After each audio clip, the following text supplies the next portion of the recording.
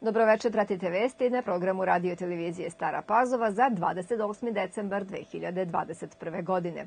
Danas je predsjednik opštine Stara Pazova Đorđe Radinović održao novogodišnju konferenciju za novinare i tom prilikom sumirao godinu na izmaku i najavio brojne kapitalne investicije za sledeću godinu. Kao tri najveća investitora koji su u 2021. godini došli u opštinu Stara Pazova, Radinović je naveo nemačku kompaniju MTU, holandsko-češki CTP i domaću špediciju transfera iz Beograda. Opština je nastavila sa kontinuiranim poboljšanjem i uređenjem putne infrastrukture, pri čemu je predsednik Radinović kao najznačajnija ulaganja naveo kompletnu izgradnju dela puta Stari Banovci-Belegiš i Stara Pazova-Golubinci, te najavio rekonstrukciju puta Stari Banovci-Krnješevci, čija je vrednost preko 950 miliona dinara.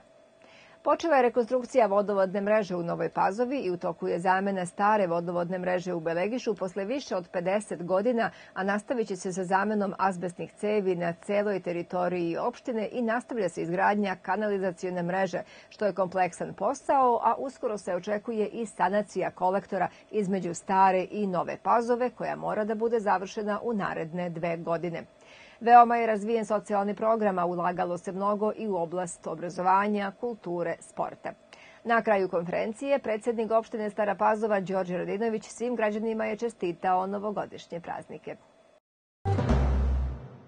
Ministarka trgovine, turizma i telekomunikacija Tatjana Matić rekla je Tanjugu pred današnju sednicu kriznog štaba da misli da ljudi koji su se vakcinisali ili preležali koronu imaju pravo na proslavu nove godine u kontrolisanim uslovima. Mislim da zdravstvena struka treba da iznese svoj stav o tome, ali imamo jako veliki broj ljudi koji su se vakcinisao, revakcinisao i primio booster dozu ili je preležao koronu i mislim da oni imaju pravo da uživaju u božićnim i novogodišnjim praznicima u ograničenim grupama i uz poštovanje svih zdravstvenih mera, rekla je Matićeva nakon dodele novogodišnjih paketića u Domu za zaštitu dece Moša Pijade na Voždovcu.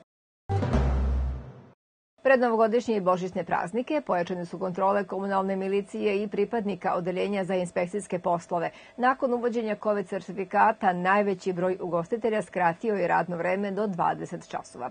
Radno vreme se poštuje, a najčešće nepravilnosti se odnose na veći broj gostiju u odnosu na kvadraturu lokala.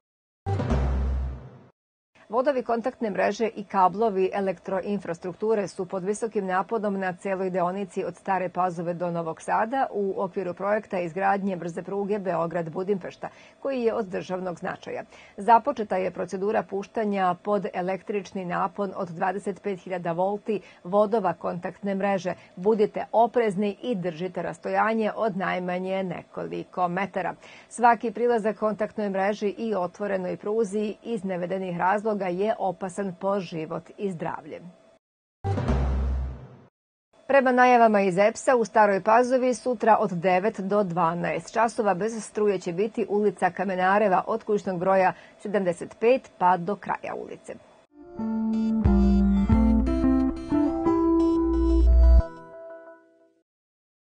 Sutra pretežno oblačno, mestimično sa kišom na visokim planinama sa snegom. Vetar slab, uglavnom zapadni i jugozapadni. Najniža temperatura od 0 do 4, a najviša od 4 na severu do 10 stepeni na jugoistoku. Toliko u vestima, za večera s vama, hvala na pažnji.